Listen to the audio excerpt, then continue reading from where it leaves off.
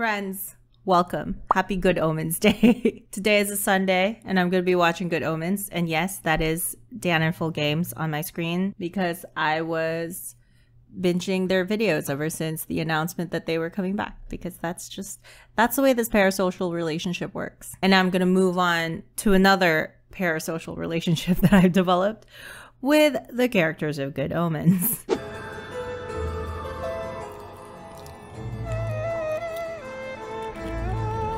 Violence? Is that Jon Hamm? Wait, what? Oh, okay. Can I help you? Sorry, I was like confused for a second because I wasn't sure. The last time that I saw, saw the last time that I saw the ineffable husbands together was in this spot. So I thought that they were getting caught like two days before, they were being sussed out two days before the end of the world by Jon Hamm, which is something you never want when you're in a homosexual relationship, I guess. But it looks like this is a known bookstore that Aziraphale owns. And so, you know, anyone can just come in and out. Discuss my purchase in a private place because I am buying uh, Pornography?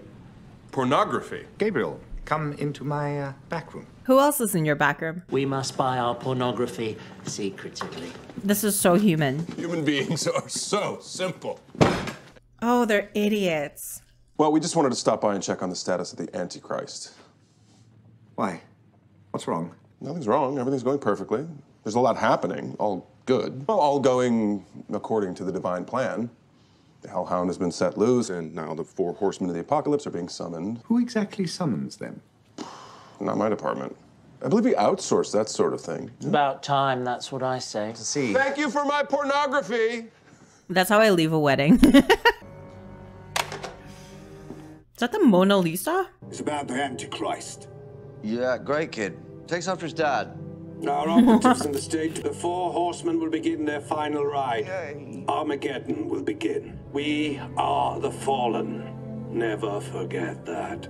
Well, it's not the sort of thing you forget. I don't trust you, Crowley. Everything's Oh. going just fine. I guess he's sort of in the right not to trust. He is a snake. Meet the summoner.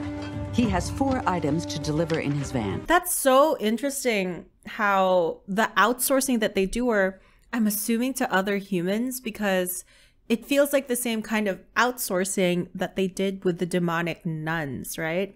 And then they just like wiped the entire convent clean. Antichrist convent. And he's about to make his first delivery in a former war zone. Uh, somebody has to sign a peace agreement first. They do, and it's me.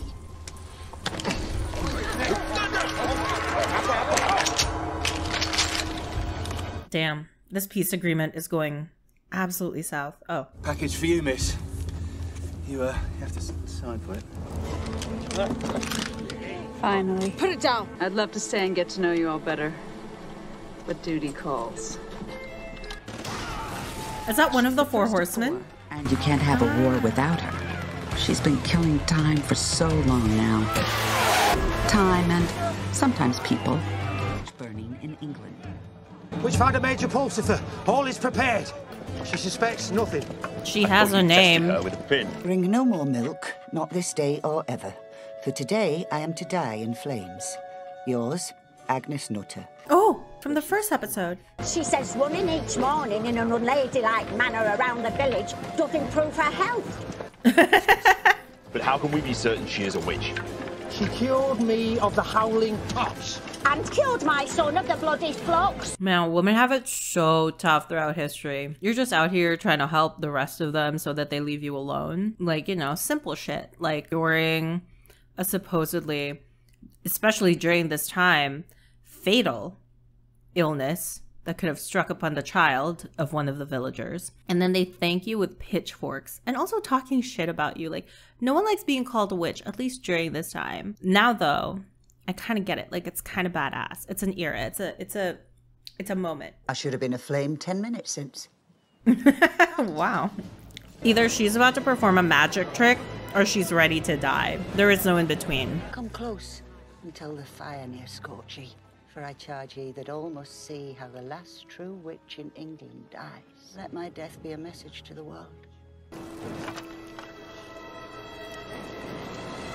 Oh, Olga. Oh. A hat belongeth to Witchfinder Major. Among the folk from the next village, there was Thou shalt not commit adultery, Pulsifer. had been materially helped by Agnes's petticoats in which she had concealed 50 pounds of gunpowder and Interesting. of Yeah, so both magic trick and was ready to die. They were to be given to her daughter and her son-in-law, John and Virtue Device. The nice and accurate prophecies of Agnes Nutter. Oh my. Reminisce 180. An apple will arise, no man can eat. Invest thy money in Master Job's machine, and good fortune will tend thy days. Master Jobs Apple? Oh my god. She's talking about Bill Gates. That's crazy. She predicted the growth of Macintosh. Agnes Nutter was the very first That's So Raven. That's so Agnes. That's so Nutter. She was also outsourced? Well, no, because like the outsources so far have been mortals. And it seems as though either she's getting she or she got rest in peace miss nutter insider scoop information from people beyond. And that's how she was getting all these messages from the future. Her spirit guides were actual angels and demons.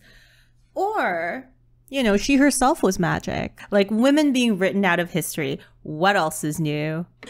I mean, this is balderdash. and nostradamus' stuff made sense? In a precise and accurate description of the events that would culminate in Armageddon.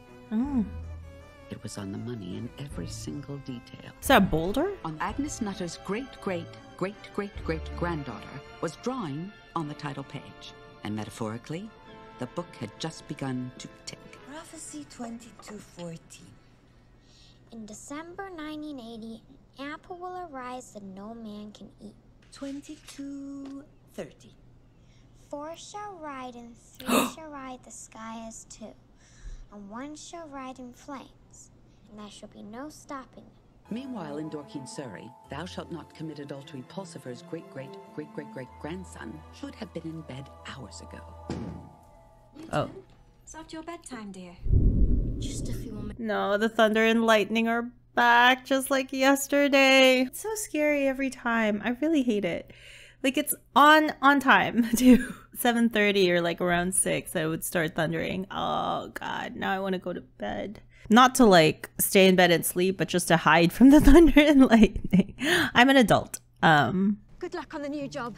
I hope it works out this time. Wait, is that Jack? What's his name? Hall? White? Wait, if I pause this, I'll see the name. Jack Whitehall. I really said both of his last names and thought that they were two separate names. The camera by work is like The Office UK Yeah. for some reason. Oh, he's just bad with technology, it seems like. Not very good with computers. No, he got fired so quickly. Purpose of your visit to the United Kingdom? Oh, I'm commanded by an ancient family prophecy. I'm going to use all the wisdom and witchcraft at my disposal to hunt down the heart of darkness, and then do all that I can to destroy it before it brings about the end of the world. So pleasure. Vacation. yeah. They are hidden in our midst. I'm the thin red line that stands between humanity and the darkness. Nay, I'm talking about witches. Aye, there's nobody could stop them but me. There is no longer a Witchfinder General. Nor is there a Witchfinder Colonel, a Witchfinder Major, not even a Witchfinder Captain. I think all of those still exist. They just have different titles now. They they're called incels. Get your wallet out, laddie. But, but that He's is, you know, jobless. I don't like this guy. Why are you friends not with him? Mr. Shadwell, Witchfinder Sergeant Shadwell. Newton. Newton Pulsifer. That's a familiar name now you mention it. The last of the Witchfinders. How many nipples have you got? What? Four. Nipples, laddie. How many? Um, just the usual two. Oh, it's disappointing. Be here at 11 o'clock tomorrow. Bring scissors. Must have two nipples to hang out. Also scissors. Assistant required to combat the forces of darkness. Uniform basic training provided. Must have two nipples. Any more or any less, you will be rejected at the door. Lost hat and a bookshop. Oh, because that's the bu- that's the. Would that be the bookstore that Aziraphale runs? That was in Soho, right? He had heard about talking to plants in the early 70s and thought it an excellent idea. I've heard that too. Although talking is perhaps the wrong word for what Crowley does. Is that a spot? Oh my god, is he emotionally abusive towards the plants? But I've told you all about leaf spots. I will not stand for them. You're the one that's supposed to be caring for them. Say goodbye to your friend. No. Just couldn't cut it. You you could cut it. So much more. You don't have to throw away the whole You thing. guys, grow better! What he does is put the fear of God into them. I love More that. precisely the fear of Crowley. That's horrific. You could have just cut out that one leaf or something. Nice and accurate prophecies of Agnes Nutter. I'm so sorry I can't help you. well, of course I know who she was. Born 1600, exploded 1656. Oh. Ah. But there are no copies of her book available. Oh. No, I can't name my prize. I don't Have copies ever existed? Away with you, harlot. Scarlet woman. Jezebel. Alright. Chill out. How can Sugar do? He's in the army now, Jezebel. He'll make his own tea. It is raining so hard. I don't know if you can hear that. Ah. I, I had sort of an idea. What? Ah, uh, when you did the baby swap 11 years ago, could something have gone wrong? You still know, We know. his age, his birthday. He's 11. You Make it sound easy. It can't be that hard. I just hope nothing's happened to him. How will you be able to find like how many 11 year olds exist? Only have to uh, find his birth records. Go through that. Well, that's true. They, it is in the one hospital. But the problem is that that entire nunnery convent of Antichristness is completely burned down. Like, how will you find those documents? She knows the risk she's taking. Watch the, watch the road.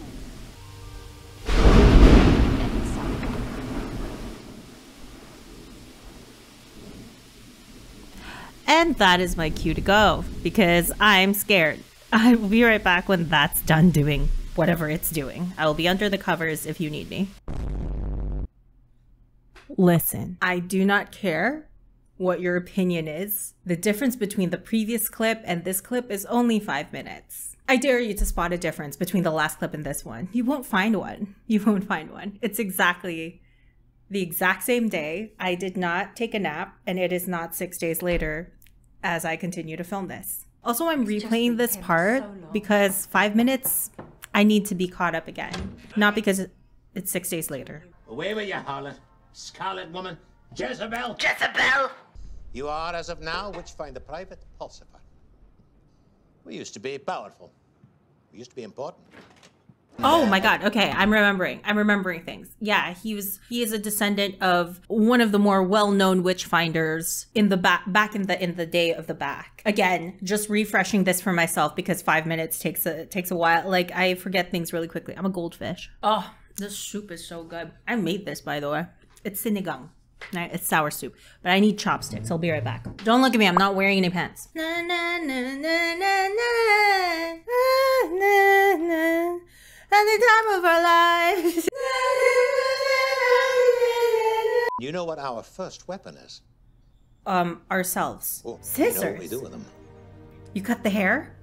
You give him a good haircut. We read. And we cut. Uh, I see. It's a ransom note. Put different letters together type of. I, I had That's the plant abuser. I remember you. I just hope nothing's happened to him. Nothing's happened to him.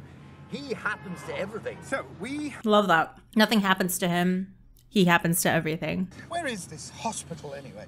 Village near Oxford, Tadfield. And knowing what I know about nuns, which is not a lot, they probably didn't computerize any of that. None of that stuff's in the cloud. Velvet Underground. You wouldn't like it. Oh, right. He listens to Velvet Underground. Yeah, Bebop, you're right.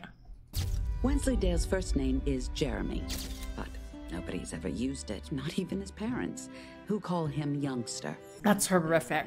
God sounds almost exactly the way I would picture God to sound. That's not to say that I've always headcanoned Frances McDormand as God. That's not what I'm saying. I'm saying, like, in terms of intonation and how God explains things with already knowing the future, the past, and all of the happenings that are happening in parallel to the happening now. Shut up. I don't want to. The way that God is like narrating this story for us, first of all, where it's like, it's funny and you're not sure if they mean to be funny with it or if God is just simply explaining a fact and it just happened to be funny. There's a gentleness to the tone and it feels commanding, but not in a way that makes you feel like you don't have free will, even though free will is still kind of debatable in this show. I can say about this show that God sounds like a convincing God. Like nothing about it feels like a parody. That actually sounds like legit, like God. I don't know. Every gang needs a Brian. That's true. Brian's such a goofy name as well. No offense to the, the Brians out there. So many pieces at play right now. Excuse me, my father says there's no such thing as witches. I'm sorry. Your father that calls you youngster? I wouldn't trust a thing he says. I forgot his name. Wesley? youngster? Jeremy. no, not me forgetting his name too. Well, you don't think American diplomats' wives usually give birth in little religious hospitals in the middle of nowhere, do you? Ah, but evil always contains the seeds of its own destruction. In the end, it will founder on the rocks of iniquity and vanish. In the end, it will founder on the rocks of iniquity and vanish. And also, like, maybe Sister Mary Loquacious. I'm not trying to blame, like, one nun, because I know they already have it real bad. I'm just saying that, like, is that nun dead? Is she gone forever? For my money, it was just an ordinary cock up. Bye. Um. what? Oh, it's paint. Oh. Look at the state of this coat. I've kept this in tip-top condition for over 180 years now. I'll never get this stain out. Oh. Aw. Thank you. He could run a very successful laundromat. Don't you all not disapprove of guns? Yeah, unless they're in the right hands. Then they give way. to Interesting. Then they give way to a moral argument. Interesting.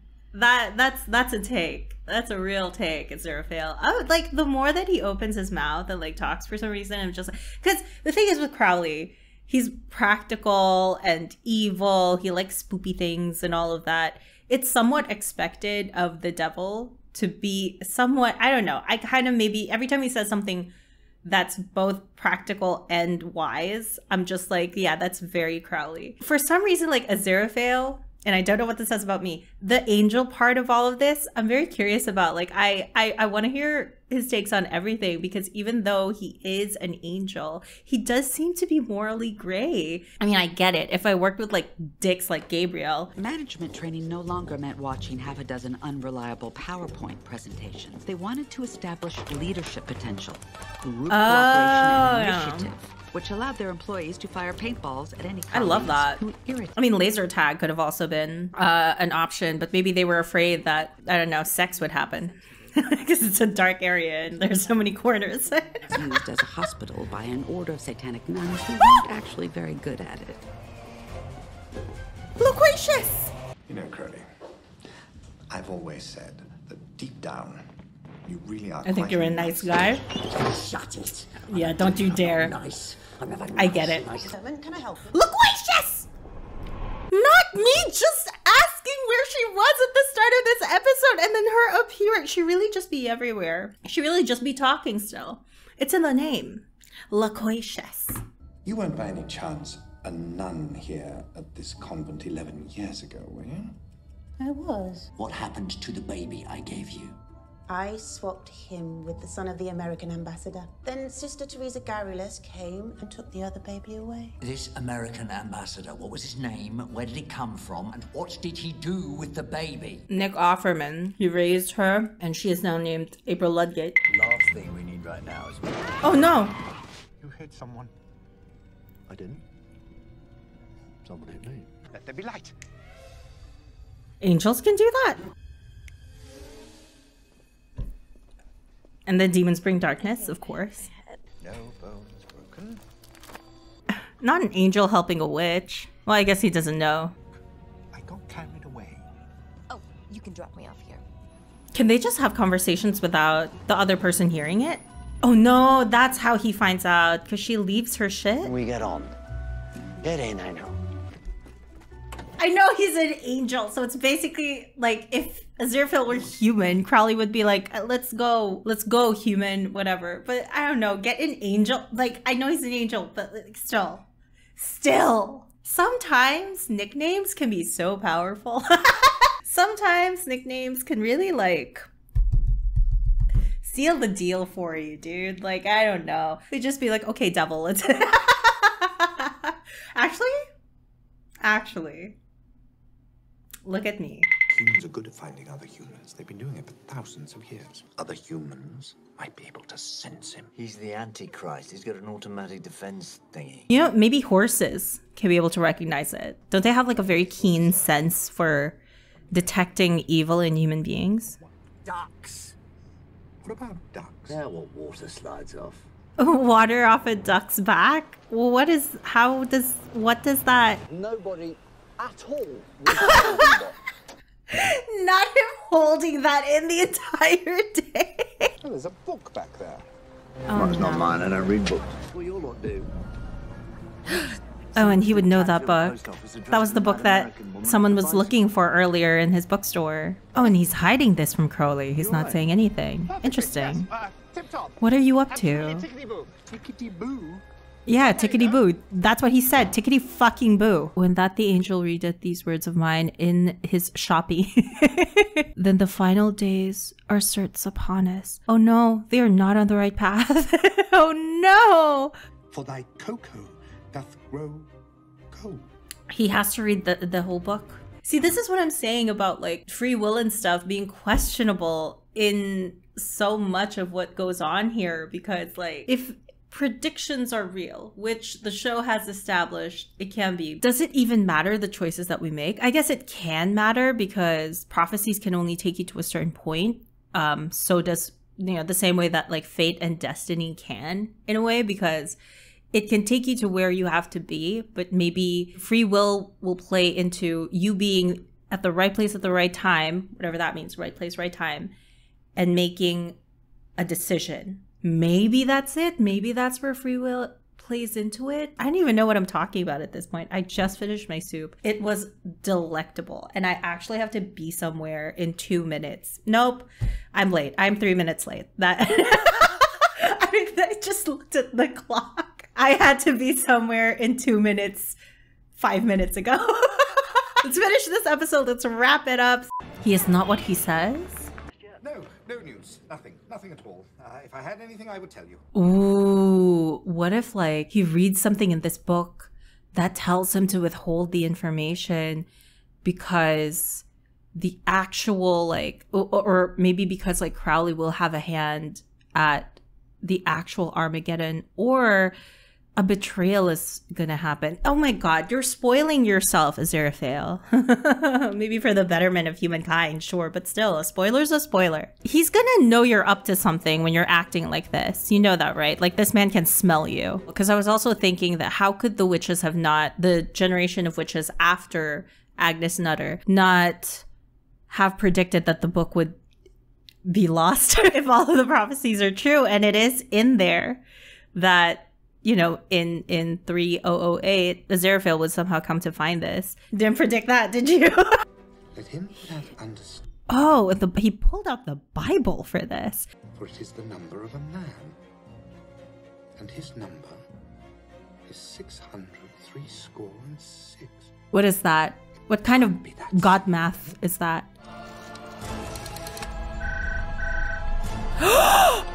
Really Tadfield 046666, Arthur Young here. wow Sorry, right number. right number. That's so interesting. Oh my goodness. Oh, what an episode. Um, I think we left uh much of the witch hunter stuff, yeah, with Mr. Shadwell and all of that, and the Jezebel. That one's still up in the air, but I'm excited. This is so good. And I'm also just like really happy to be consuming this now. I really want to try and catch up before the latest season drops, which I don't even know if I should be doing that because I'm in a drought right now. Our Flag Means Death just ended. I just saw the last episode today. It ended on Thursday, but I only managed to watch it today. I mean, I mean, I mean, I mean, no. Uh, not that a Thursday has passed since the first clip that you saw. That is that is the video. I'll see you guys next week. Thank you so much for watching. I have to go. I'm in a hurry. Uh, hopefully I can get this out this week and watch some more later tonight. I mean, for me, I'm going to be watching it. That video is not going to go out yet, but you'll be seeing this video. You get it. That that's my prophecy. Pew, pew, pew, pew.